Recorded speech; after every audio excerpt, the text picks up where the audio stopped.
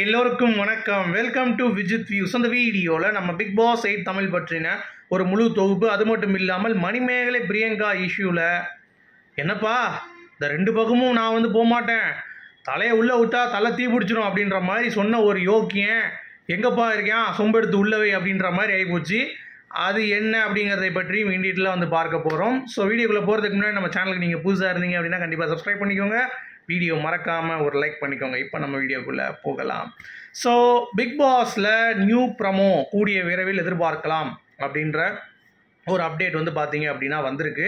So new ப்ரமோன்னொடனே நீங்கள் உடனே அப்போ விஜய் சதுபதி வேறு ஏதாவது செட் ஆஃப் இதில் வந்து பண்ணியிருக்காரா அப்படி இருக்குமா இப்படி இருக்குமான்னு சொல்லி நீங்கள் கேட்குறது புரியுது.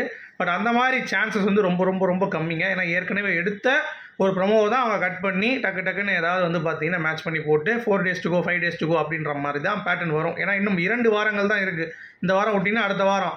அதுக்கடுத்த வாரத்தில் வந்து பிக் பாஸ் எயிட் தமிழுக்கான ஸ்டார்ட் வந்து ஆரம்பிச்சிடும் அப்படிங்கிறது தான் ஒரு பக்கம். ஸோ விஜய் சேதுபதி அவர்கள் பயங்கர கியடப்பாக ரெடியாகி நிற்கிறாரு ஆனால் அவர் ரெடியாகி நிற்கும் பொழுது ஒரு விஷயம் வந்து பார்த்தீங்கன்னா ரொம்ப பூதாகரமாக வந்துட்டுருக்கு அதாவது நம்ம ஹிந்தியில் சல்மான் கான் அவர்கள் அப்படியே விட்டு பிரிச்சிருக்காப்புல. அதாவது இப்போ இல்லை அது ஒரு சீசன் சரிங்களா? அதை வந்து மேற்கோளாக காட்டி இந்த சீசனில் இப்படி இப்படி இருக்கணும். அதுதான் நாங்கள் எக்ஸ்பெக்ட் பண்ணுறோம் அப்படின்றத பயங்கரமாக இருந்துச்சு. அதாவது ஒரு அப்பர் கிளாஸ் லோயர் கிளாஸ் அப்படின்ற அந்த கான்செப்ட் நாங்கள்லாம் பெரிய பருப்பு. நாங்கள் இந்த ஷோவுக்கு வந்ததுக்கு இந்த ஷோவுக்கு தான் பெருமை. இந்த ஷோ எங்களுக்கு வந்து ரொம்ப கீழே நாங்கள் காலுக்கு மேலே அப்படின்ற மாதிரி பயங்கரமாக பிட்டை போட்டு ஒரு பொண்ணு வந்து பார்த்தீங்கன்னா சீனை போட்டுட்ருக்கு அப்போ சல்மான் கான் அவர்கள் வந்து அவங்களுக்கு ஒரு குறும்படம் போட்டு அதை தெளிவுபடுத்துறாரு. பாரு நெடி பேசியிருக்கேன்னு பாரு. இந்த ஷோலாம் ஒன்றுமே கிடையாது. ஒரு எம்மும் கிடையாது அப்படின்ற மாதிரிலாம் பேசியிருக்க. என்ன சொல்கிற அப்படின்னு சொன்ன உடனே நான் ஓகே சார் சீக்கிரம் டூ நேரம் போட போகிறீங்க என்ன? அப்படின்ற மாதிரி அந்த பொண்ணு சொல்லுது எகத்தாலமா திருப்பி. அதெல்லாம் கிடையாது நீ வெளியே கிளம்பு. அவ்வளோதான் அப்படின்னு சொல்கிறார் நீ வெளியே கிளம்பு. இங்கெல்லாம் நீ இருக்க வேண்டிய அவசியம் இல்லை. நாங்களாம் அவனோட ஸ்டேட்டஸ் ரொம்ப கம்மி இல்லை. இந்த ஹவுஸு உனக்கு மரியாதை கொடுக்க முடியல நீ கிளம்பு. நான் உன்னை பார்க்கக்கூடாதுன்னு சொல்லிட்டு அனுப்புனது மட்டும் இல்லாமல் கலர்ஸ் டிவி கிட்ட ரெக்வஸ்ட் பண்ணுறாரு சல்மான் கான். இந்த மாதிரி இங்கே பாருங்கள் இன்னொரு தடவை நீங்கள் இவ்வளோ கூட்டு வந்தீங்க அப்படின்னா இல்லை இந்த கேமுக்கு நான் வந்து சுவாரஸ்யமாக இருக்கும் அப்படின்னு சொல்லி உள்ளே கூட்டு வந்தீங்கன்னா நான் கலர்ஸ் டிவி விட்டு வெளியே போயிடுவேன். அப்படின்ற மாதிரி அங்கேயும் வந்து பார்த்தீங்கன்னா சொல்லிட்டு சும்மா டஷால்னு வந்து பார்த்தீங்கன்னா நாக் அவுட் பண்ணிட்டாப்ல அப்படிங்கிறது தான். ஸோ இந்த ஒரு வேகம் விஜய் சேதுபதி இருக்குமான்னு சொல்லி கேட்டிங்கன்னா கண்டிப்பாக இந்த வட்டம் விஜய் சேதுபதிக்கும் வேறு வழி இல்லை. மக்களுடைய எண்ணங்கள் என்ன அப்படிங்கிறதை பார்த்து ஷோ பண்ணாருன்னா நீ வந்து ஓகே இல்லாட்டி ஒன்றையும் போட்டு அடிப்போம்டா அப்படின்ற மாதிரி கங்கணம் கட்டி கொண்டு அலைஞ்சிட்டு இருக்காங்க அப்படிங்கிறது தான் விஜய் கோட் ஷூட்லாம் போட்டு இந்த மாதிரிலாம் சில விஷயங்கள் வந்து பண்ணுவாரா அப்படிங்கிறதை நம்ம வந்து பொறுத்து இருந்தான் பார்க்கணும். ஓகேவா இது வந்து மிகப்பெரிய ஒரு ப்ரெஷர் விஜய் சதுபதி மேலே இருக்குது அப்படிங்கிறது தான். அடுத்து பிக் பாஸ் எயிட் சம்மந்தப்பட்ட ஹவுஸ் பிக்ஸ்லாம் வந்து பார்த்தீங்கன்னா வெளியே பயங்கரமாக வந்து ரிலீஸ் ஆகிட்டு இருக்குது ஸோ அதெல்லாம் உண்மையாக இல்லை ஒரு ஹவுஸ் வந்த மாதிரியும் வந்து காட்டுறாங்க. மியூசிக்லாம் போட்டு பயங்கரமாக இருக்குது அதெல்லாம் உண்மையான்னு கேட்டிங்கன்னா ஃபேக்கு தான். ஏன்னா அது எயிட் பார்க்கும்போது இது உங்களுக்கு தெரியலையா? நம்ம எயிட் கிடையாது. நம்ம எயிட் ரொம்ப லைட்டு ப்ளஸ் எயிட்டே வந்து நமக்கு வந்து ஃபோக்கஸ் பண்ண மாட்டாங்க. அது எனக்கு தெரிஞ்சு தெலுங்கு வீடு மாதிரி தான் இருக்குது சரிங்களா? தமிழ் வீடு மாதிரி இல்லை. ஸோ இன்னும் வந்து பார்த்தீங்கன்னா கயிறம் கட்சியும் தான் தொங்குது அப்படின்ற மாதிரி அந்த ஒரு கான்செப்டில் தான் பிக் பாஸ் ஹவுஸ் இருக்கும். ஸோ கடைசி ஒரு வாரத்தில் தான் அந்த ஒயர் கனெக்ஷன் எல்லாமே வந்து வச்சு கரெக்டாக பண்ணுவாங்க. இது வரைக்கும் வந்து ரிலீ என்ன சொல்கிறது வெயிட் பண்ணுங்கள் கண்டிப்பாக ரிலீஸ் ஆகலை. ஸோ அந்த ப்ரொமோஸ் வந்த பிறகு அதுக்கடுத்து அடுத்த வாரத்தில் வந்து பார்த்தீங்கன்னா ரிலீஸ் ஆயிரும். வீட்டோடைய பிக்சர்ஸ்லாம் வெளியே வந்துடும் ஸோ முடிஞ்சால் அந்த இன்வைட் பண்ணுவாங்க. ஒரு சில பேரை உள்ளே கூட்டு போய் வீடு எப்படி இருக்குன்னு பார்க்குறதுக்கு. அதுக்கு நமக்கு ஏதாவது வாய்ப்பு கிடைச்சா நம்ம உள்ளே போனோம்னா பார்த்துட்டு உங்களுக்கு வந்து சொல்கிறேன் அதுக்கு தவிர இதை பார்க்குறப்ப நமக்கு வந்து அது வந்து ஃபேக் ஹவுஸ் மாதிரி தான் தெரியுது. அந்த பிக்சர்ஸ் பார்க்கும்போது அது உண்மை இல்லை அப்படின்ற மாதிரி தான் ஃபீல் ஆகுது. சரியா? அடுத்து இந்த மணிமேகலை அண்ட் நம்ம பிரியங்கா. ஒருவே ஒரு மானசன் ஊருக்குள்ளே இருந்தான் அவன் எங்கே பார்த்தீங்களா அப்படின்ற மாதிரி கேட்குற மாதிரி என்ன என்ன பேசியிருக்கான் அப்படிங்கிறத நீங்கள் டக்குன்னு பாருங்கள் இப்போ நம்ம ஒரு காட்டு வழியாக போயிட்டு இருக்காங்க ரெண்டு யானை அடிச்சுன்னு வைங்களேன். அங்கே இறங்கி போய் நடுவில் சமாதானம் பண்ணுறதுக்கு போகக்கூடாது. அது நம்மளுக்கு நசிக்கு போட்டு அது மாதிரி போயிடும். ஸோ அதனால் இதை நம்ம எட்டருந்து வேடிக்கை பார்க்குறது நல்லது. பார்த்துட்டிங்களா என்ன மாதிரி வாய்?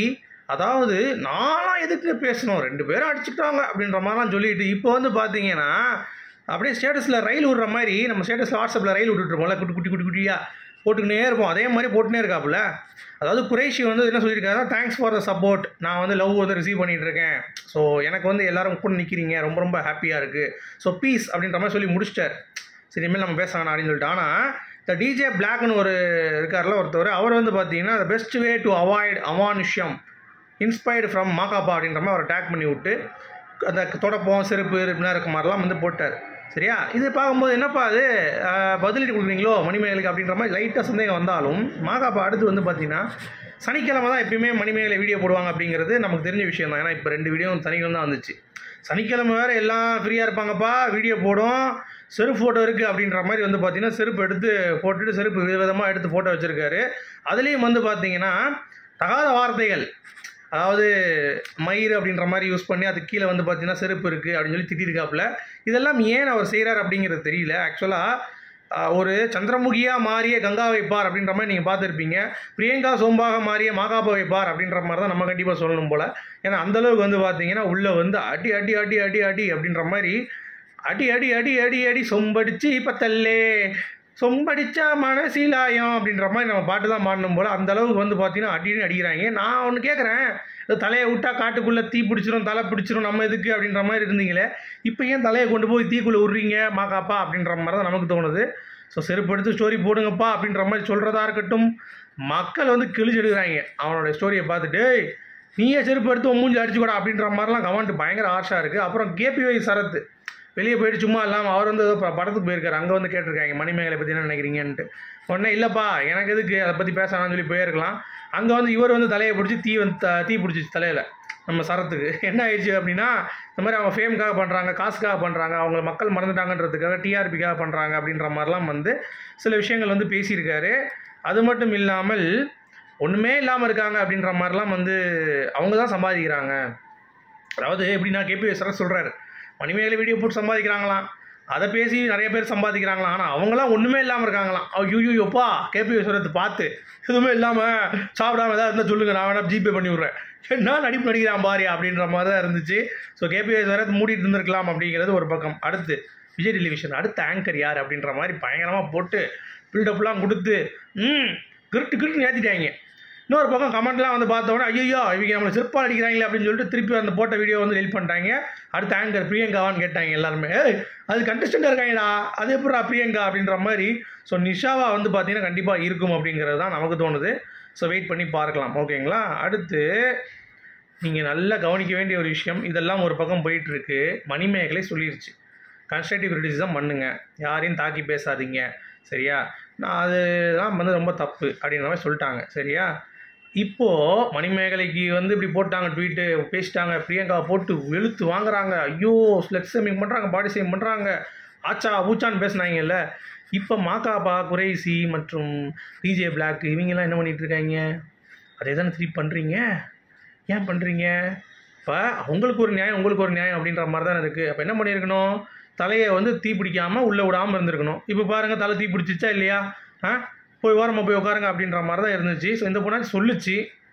நீங்கள் எப்போ சொல்ல போகிறீங்க பிரியங்காக்கா இந்த மாதிரி மணிமேகலை பற்றி ரொம்ப கேளாம பேசாதீங்கன்னு சொல்லிட்டு ஒரு வீடியோ கொடுங்க அப்படின்ற மாதிரி தான் தோணுது. ஏன்னா நியாயம் வந்து எல்லாத்துக்கும் பொதுவாக தான் இருக்கணும் அப்படிங்கிறது தான் பாயிண்ட்டு ஸோ மணிமேகலை இந்த இஷ்யூவை ஊதி பெருசாகினது அப்படிங்கிறது ஒரு பக்கம் டிஆர்பியாக இருக்கட்டும் இல்லை மக்கள் சப்போர்ட்டாக இருக்கட்டும் என்னவாக இருக்கட்டும். ஆனால் இதன் மூலமாக பல முக்கிய புள்ளிகளுடைய முகத்திரை கிழிக்கப்பட்டது அப்படிங்கிறது தான் வந்து மறுக்க முடியாத ஒரு உண்மை அப்படிங்கிறது தான். சரி இந்த விட ரைட்டில் யார் தெரியுமா? பிக் பாஸ் நம்ம திவாகர்.